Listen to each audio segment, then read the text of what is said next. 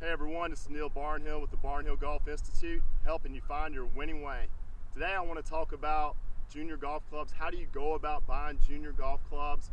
I get this question a lot from parents that have never played golf and their son or daughter is interested in playing the game.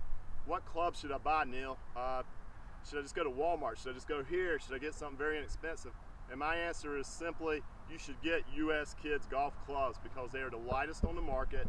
Nobody else makes them like they do your son or daughter will have a lot easier time hitting these clubs because they're lighter and they'll have more fun with it. So they come in different colors as you can see with the bags here. They're three inch increments. Your son or daughter, depending on how much they grow, they'll have them for approximately one year, year and a half.